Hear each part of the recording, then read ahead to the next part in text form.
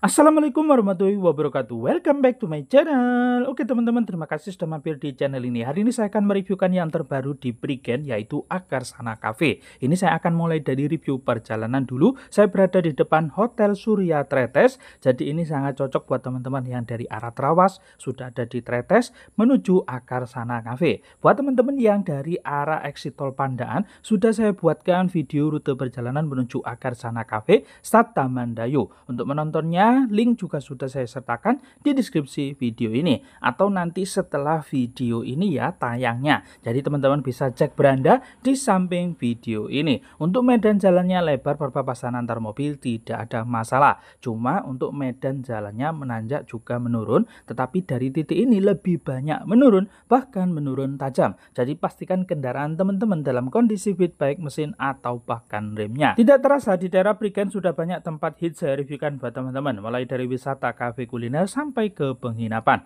Dan di sekitaran daerah Pasuruan bukan hanya Prigen yang saya review, daerah Pandaan Bangil atau daerah-daerah Pasuruan lain juga saya reviewkan buat teman-teman. Teman-teman bisa menontonnya secara keseluruhan di playlist wisata dan tempat nongkrong Pasuruan. Di depan di sebelah kiri adalah Hotel Royal Tretes. Kita melaluinya dan masih mengikuti jalan. Buat teman-teman yang ingin request di sekitaran daerah Prigen atau di sekitaran daerah Pasuruan, bisa mencantumkannya di kolom komentar.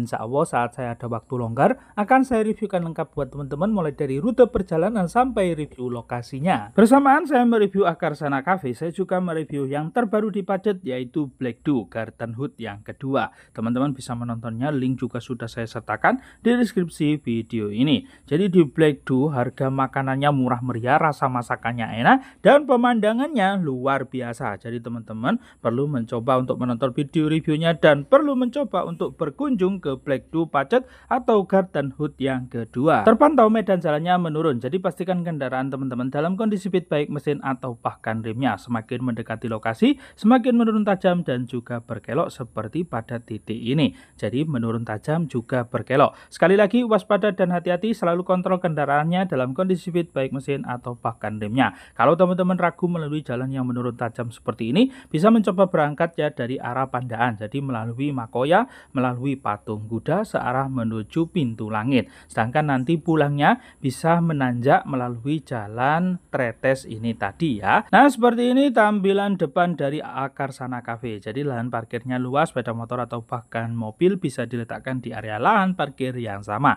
Terlihat banyak karangan bunga dan di depan ini ada tulisan akar sana, bangunan megah ala akar sana yang sangat bagus dijadikan sebagai tempat berfoto. Jadi view yang ada di sini kalau siang hari view gunung, kalau malam malam hari view City Lake. Untuk mencapai area kasir dan duduk di area akar sana cafe, kita harus naik seperti ini. Jadi ada kurang lebih empat tingkatan.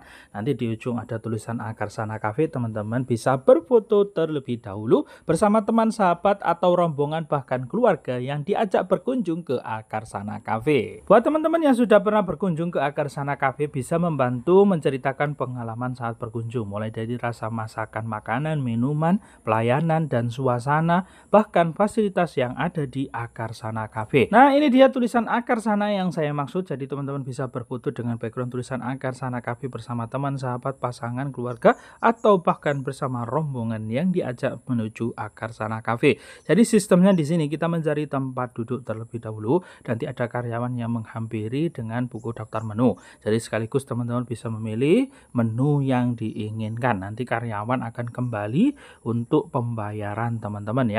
Di sini di samping area barista ada area toilet dan juga tangga naik ke atas ke fasilitas musolanya. Jadi fasilitas yang ada di sini sudah lengkap ya, toilet dan juga musola bahkan wifi. Selain tempat duduk semi indoor, di sini juga ada tempat duduk mini tribun. Di depannya ada halaman luas dan di depan sendiri ini ada tempat duduk outdoor yang menghadap langsung city light. Jadi kalau malam hari tempat duduk yang menghadap city light ini rebutan teman-teman karena memang pemandangannya begitu bagus saat malam hari yaitu pemandangan city light. Di area tempat duduk sebelah kiri area barista selain menghadap lahan parkir juga menghadap langsung Gunung Penanggungan saat siang hari. Untuk jam bukanya mulai dari jam 10 siang sampai jam 11 malam.